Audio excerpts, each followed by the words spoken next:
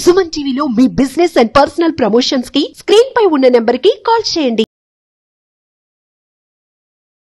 నమస్కారం శంకరి గారు. నమస్తే సరే చాలా వరకు చెప్తూ ఉంటారు మనకి ఏదైతే ఎమోషన్ అది బాధ అయినా సంతోషమైనా మనం ఏ రకంగా ఆలోచిస్తే ఆ ఎమోషన్కి మనం కనెక్ట్ అవుతూ ఉంటామని. నిజంగానా అది నిజమేనా? అండ్ ఎస్పెషలీ అలాంటి ఎమోషన్స్కి మనము ఎలా కనెక్ట్ అవుతామంట ఇది హండ్రెడ్ పర్సెంట్ జరుగుతుంటుంది. ఓకే. అంటే ఏ రకంగా? ఎమోషనల్గా అంటే మనలోని భావాలను మనం వ్యక్తపరిచేటటువంటి విధానాన్ని బట్టి జరుగుతుంటుంది. అది మనకి సంతోషం వచ్చింది. సంతోషాన్ని ఎక్స్ప్రెస్ చేసే నాకు చాలా హ్యాపీగా ఉంది అనడం వేరు. ఆ హ్యాపీనెస్ని ఎక్స్ప్రెస్ చేసే విధానం వేరు.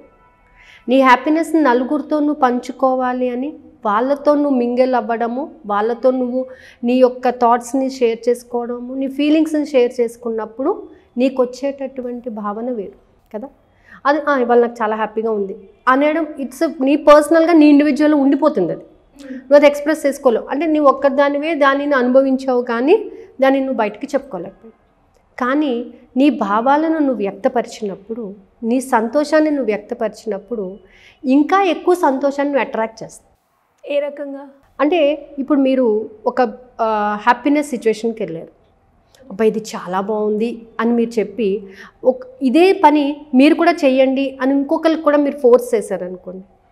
అంటే మీ యొక్క ఫీలింగ్స్ని మీ యొక్క ఎమోషన్ని వాళ్ళు క్యాచ్ చేసుకోగలిగినప్పుడు వాళ్ళు కూడా హ్యాపీగా ఫీల్ అవుతుంటారు.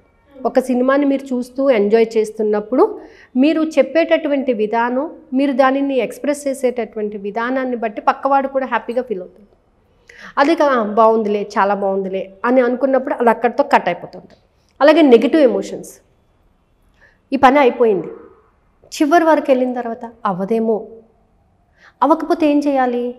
ఒక నెగిటివ్ ఎమోషన్ సో అక్కడ ఈ నెగిటివ్ ఎమోషన్స్కి ఎక్కువ వాల్యూ ఉంటుంది. ఆ పని నిజంగానే జరగదు. మన వాళ్ళు ఏమంటారంటే కీడించి మేలించి అంటే ఒకవేళ జరగకపోతే ఇంకొక ఆల్టర్నేట్ చూసుకోవాలి కదా అని అంటారు. అలా ఎందుకు అనాలి? పాజిటివ్గానే అనొచ్చుగా? పాజిటివ్గానే మీ యొక్క భావాలను మీరు వ్యక్తపరచచ్చు కదా? అంటే ఇప్పుడు మనకి ఈ ఎమోషన్ ఎక్స్ప్రెస్ చేసేటప్పుడు మన బ్రెయిన్ హార్ట్ మన ఐస్ మన ఇయర్స్ మన మౌత్ చాలా బాగా పనిచేస్తాయి. మనస్ఫూర్తిగా చెప్తున్నానండి. మనస్ఫూర్తిగా చెప్తున్నాను అని అన్నప్పుడు నీ మనసు ఎఫెక్ట్ అవుతుంది నీ కళ్ళల్లో ఫీలింగ్స్ తెలుస్తాయి నువ్వు మాట్లాడే విధానం మారిపోతుంది. ట్రూ నిజం. నేను మనస్ఫూర్తిగా చెప్తున్నానండి. ఆ చెప్పానులేండి. చెప్పానులేండి అనడం వేరు. నేను మీకు మనస్ఫూర్తిగా చెప్తున్నానండి. సో దీంట్లో నాకు ఒక చిన్న ఎక్స్పీరియన్స్ ఉంది ఈ మధ్య కాలంలో. డెఫినెట్గా రీసెంట్గా మేము హౌస్ కన్స్ట్రక్ట్ చేసుకున్నాం మీరు కూడా వచ్చారు కదా. సో పూజా మందిరంలో నేను శివపార్వతుల పటాన్ని ఉండాలి అని నేను భావించాను అనమాట చాలా ఎమోషనల్గా నేను అక్కడ అది ఉండాలి. నాకు అక్కడ వాళ్ళే ఉన్నారు అనేటటువంటి నాకు భావన అనమాట ఎప్పుడు చూసినా నాకు అక్కడే కనిపిస్తుంది. సో పూజకి సత్యనారాయణమూర్తి పటం తీసుకొచ్చాను వెంకటేశ్వర స్వామి పటం తీసుకొచ్చాను. అనుకోకుండా నాకు తెలిసిన ఆవిడ శివపార్వతుల పటం పంపించారు. పూజారి గారు కూడా తీసుకెళ్ళి ఆ శివపార్వతుల పటాన్ని తీసుకెళ్ళి దేవుడి రూమ్లోనే పెట్టానమాట రియల్లీ నాకు అసలు ఈ ఫంక్షన్ అంతా ఒక ఎత్తు అయితే ఆయన అక్కడ పెట్టినటువంటి ఫీలింగ్ నాకు చాలా హ్యాపీ అనిపించింది అనమాట నిజంగా. మీరు చెప్తుంటే నాకు కూడా అంటే నేను ఆ రోజు వచ్చినప్పుడు కూడా మీరు ఇది షేర్ చేయడం జరిగింది. నేను అందరితోని షేర్ చేశాను ఆ విషయం. నేను ఏదైతే నేను అనుకున్నాను ఎలా అయితే నేను భావించుకున్నాను ఆహా, వాళ్ళు అక్కడ నిజంగా ఉన్నారు. ఉన్నారు. ఉన్నారు అంతే నాకు ఆ హ్యాపీనెస్ నేను ఆ హ్యాపీనెస్ని నాలో నేను పొందాను. నేను చాలా ఇంటర్నల్గాని ఎక్స్టర్నల్గా కూడా దానిని ఫేస్ చేయడం జరిగింది. సో అలాంటప్పుడు ఏమవుతుందంటే మన ఎమోషన్ని మనం ఎంతగా అయితే ఎక్స్ప్రెస్ చేస్తామో మన మొత్తం హార్ట్ఫుల్గా ఆ ఎమోషన్ ఎక్స్ప్రెస్ చేస్తుంటామో అది ఖచ్చితంగా జరుగుతుందన్నమాట. నిజంగా. అండ్ ఇప్పుడు మీరు అన్నారు కదా మనం ఏదైతే హార్ట్ నుంచి చెప్తామో హార్ట్ బ్రెయిన్కి కనెక్ట్ అయ్యి మనకి ఆటోమేటిక్గా ఐస్ నుంచి ఆ ఫీలింగ్ ఆ తెలుస్తుంది. ఫీలింగ్స్ వచ్చేస్తుంది. ఇప్పుడు దాకా మీరు చెప్పిన దాంట్లో నేను అదే గమనించాను. ఆ షైనింగ్ అవి చెప్పేటప్పుడు విధానము మనల్ని ఏం చేస్తుందంటే ఇంకొంత హ్యాపీనెస్కి మనం గురి చేస్తుంది అనమాట అందుకే మన సంకల్పం పెట్టుకున్నప్పుడు మన సంకల్పం యొక్క భావన అనేది ఇంపార్టెంట్. నేను భావించాను. ఫీల్ అయ్యానా? బాగుంటుందని ఫీల్ అయ్యాను. ఫీల్ అవ్వడం కాదు. నేను భావించాను. మనస్ఫూర్తిగా నేను దానిని యాక్సెప్ట్ చేశాను అనమాట సో ఆ యాక్సెప్టెన్సీలోని నువ్వు ఎన్నో విధాలైనటువంటి సంతోషాన్ని పొందుతుంటావు. కాబట్టి మెడిటేషన్లో కూడా నీ యొక్క భావాలను పాజిటివ్గా ఎక్స్ప్రెస్ చేసుకునే విధానం నీకు తెలుస్తుంది. ఎప్పుడైతే మనిషి తనలోని భావాన్ని ప్రాపర్గా ఎక్స్ప్రెస్ చేయాలనుకుంటాడో చాలామంది ఏంటంటే ఆ చేయాలనుకున్నానండి కాలేదండి ఆ అయిపోతుందిలేండి. మనస్ఫూర్తిగా నేను ఈ విశ్వాన్ని విశ్వసిస్తున్నాను. అందుకే అంటారు నువ్వు మనస్ఫూర్తిగా కోరుకో జరిగిపోతుంది ఈవెన్ ఇవాళ అంటే నా నా పరంగా నేను ఎవ్రీథింగ్ నేను యూనివర్స్తో కనెక్ట్ అవ్వాలి అని అనుకుంటాను అవుతాను. లిటరలీ వన్ థర్టీ నేను స్టార్ట్ అయ్యాను.